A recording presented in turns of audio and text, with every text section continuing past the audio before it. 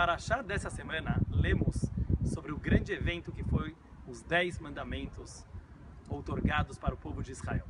Existe uma discussão entre dois sábios judeus, o que os judeus respondiam no momento que eles ouviam os mandamentos da boca de Deus.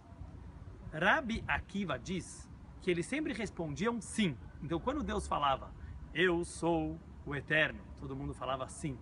Guarde o Shabat, sim. Não matarás, sim. Não roubarás, sim. Os dez mandamentos foram respondidos com um uníssono sim.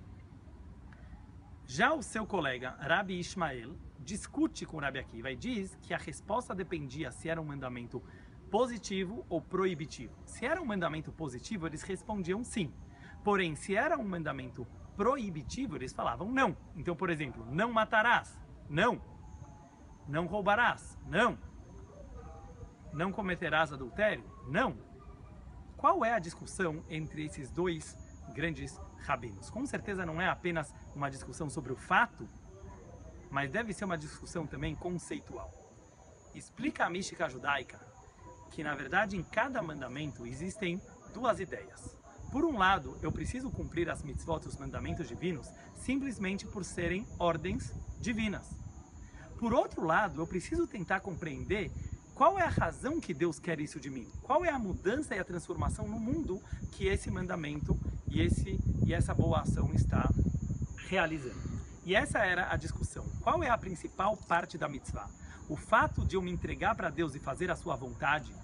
Ou será que é o fato de eu entender a mudança que isso está causando no mundo? Então, Rabi Akiva, ele dizia que a primeira parte é mais importante. Isso significa responder sim sobre todos os mandamentos. Não faz diferença a característica e o estilo do mandamento. O mais importante é sim, Deus. Vamos fazer a sua palavra porque você está nos mandando, porque você está nos pedindo.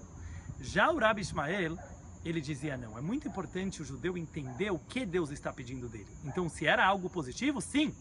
Quando é algo negativo, eu falo não, ou seja, não vou matar, não vou roubar. Eu compreendo que isso são atitudes ruins e por isso eu não vou fazê-las.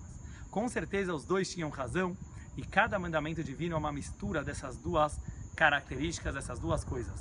Por um lado, eu me senti que eu estou me entregando para Deus, para a sua vontade, mesmo quando eu não entendo, mas por outro lado, o esforço para entender os mandamentos divinos e qual é a transformação que eles estão realizando no nosso mundo. Um Shabbat Shalom a todos vocês.